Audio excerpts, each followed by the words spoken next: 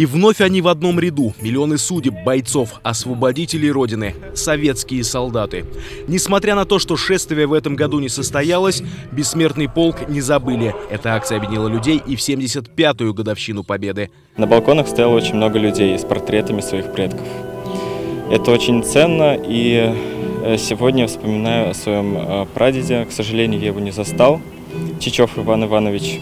Он прошел всю войну, э, дошел до Берлина. Рядовые сержанты-генералы в одном строю 9 мая.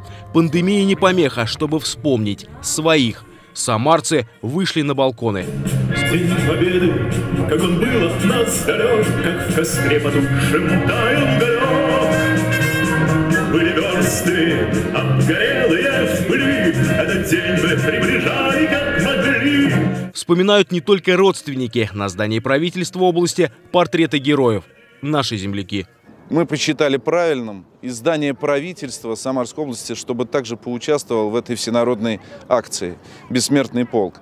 Именно поэтому окна Белого дома украшены портретами героев Советского Союза, героев наших с вами земляков, уроженцев Куйбышевской, Самарской области.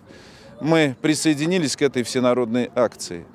Она объединяет всех людей вне зависимости от политических предпочтений, от места работы, от вероисповеданий. Этот святой праздник для всех нас. И акция всенародная «Бессмертный полк» также свята. Самара еще скажет спасибо героям. Шествие бессмертного полка, как и сам парад, еще состоятся в этом году.